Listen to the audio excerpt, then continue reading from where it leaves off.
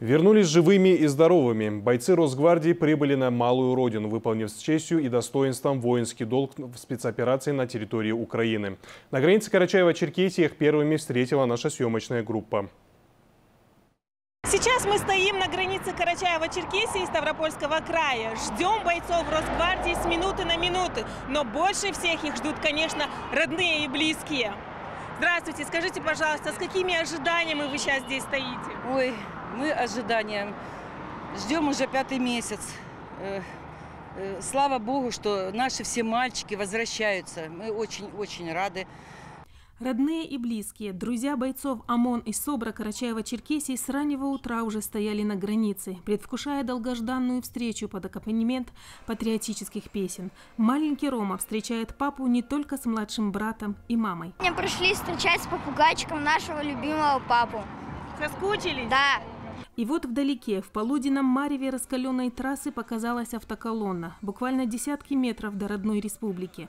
Громкое «Ура!» и развивающиеся на ветру флаги встречают солдат Росгвардии.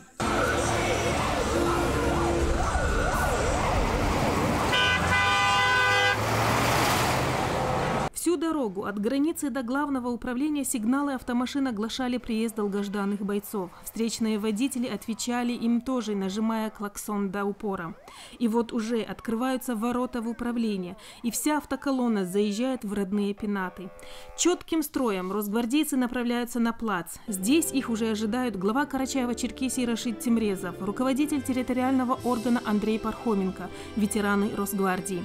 Глава в своем выступлении отметил неоценимую помощь бойцов Росгвардии Карачаева-Черкесии по обеспечению безопасности нашей Родины, поблагодарил командование и всех сотрудников за проявленное мужество и отвагу в спецоперации на Украине, а также семьи защитников за их поддержку. Для меня большая честь сегодня находиться рядом с вами и приветствовать живыми и здоровыми на родной земле. Я очень рад, что все бойцы управления Росгвардии по Карачаево-Черкесии достойно и профессионально выполнили поставленные боевые задачи в ходе специальной военной операции на Украине.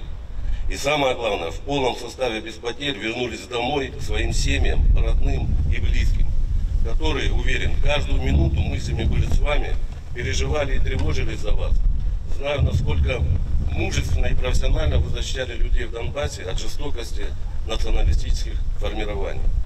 Я поздравляю вас с победой. Я не оговорился. Главная победа, которую вы одержали, это победа над собой. Я знаю, сколько пришлось выдержать, вытерпеть, вынести. А лозунг спецназа все знаете. Победишь себя и будешь непобедим. Дорогие ребята, вы непобедимы. Считаю, что поставленная задача Верховным Главнокомандующим вами выполнена. За это вам огромное спасибо. Но не надо забывать, что нас ждут еще будни, и задачи на местах тоже нужно выполнять. Считаю необходимым поддерживать боевую готовность, дисциплину и служить Родине в дальнейшем. Момент встречи бойцов и родных оказался самым эмоциональным. Родные военнослужащих рыдали на груди своих защитников. Слезы, которые невозможно сдержать. Вы гордитесь своим сыном? Да, да, очень, очень, очень горжусь. Все, всеми ребятами горжусь. Я не только всеми, которые были там, всеми, всеми. Я молилась за всех. Мы с, с ней за всех, мать с Любой молились за всех. Чтобы они живы были, чтобы Бог Всевышний им только здоровье На руках, буквально несколько минут назад державших автомат, сейчас убаюкивается малыш. Его еще не было, когда папа уезжал выполнять свой долг – защищать мирных жителей, таких же малышей, матерей, бабушек. И вот сегодня наградой для бойцов стала эта встреча с родными после опасной командировки. Фатима Даурова, Руслан Харченко, Вести, Карачаева-Черкесия.